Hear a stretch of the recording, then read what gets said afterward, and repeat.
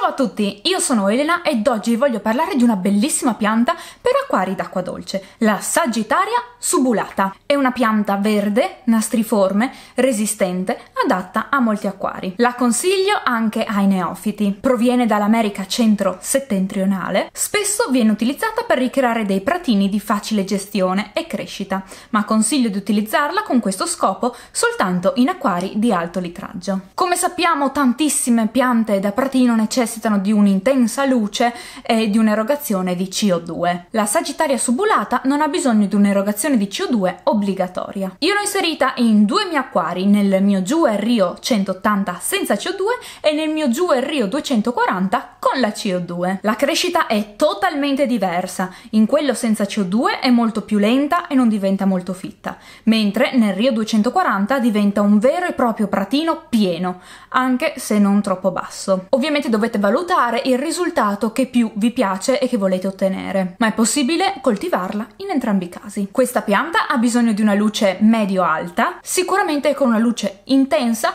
crescerà meglio e resterà anche più bassa. Infatti, in base alle condizioni in cui si trova, può diventare più o meno alta. Solitamente resta sui 5-15 cm e la luce svolge un ruolo fondamentale per l'altezza della pianta. Infatti, se ci dovesse essere poca luce, possono addirittura raggiungere i 40 cm di altezza e fuoriuscire dalla vasca. In quel caso potrebbero anche fiorire. Consiglio di posizionarla in primo piano all'interno della vasca, ha una crescita medio veloce, ovviamente questo dipende anche se c'è un'erogazione di CO2 oppure no. Il range di temperatura ideale va dai 20 gradi ai 30 gradi. Il pH deve stare tra 5.5 e 8, solitamente ha un prezzo attorno ai 4-12 euro. È una pianta che va interrata nel fondo, principalmente si nutre attraverso le radici, quindi è meglio inserire un fondo fertile, anche se con una buona fertilizzazione liquida a colonna è possibile non inserirlo. Ha bisogno di ferro, un chiaro segnale di mancanza di ferro sono le foglie ingiallite. Si riproduce tramite stoloni, proprio come la Vallisneria. E a proposito di Vallisneria,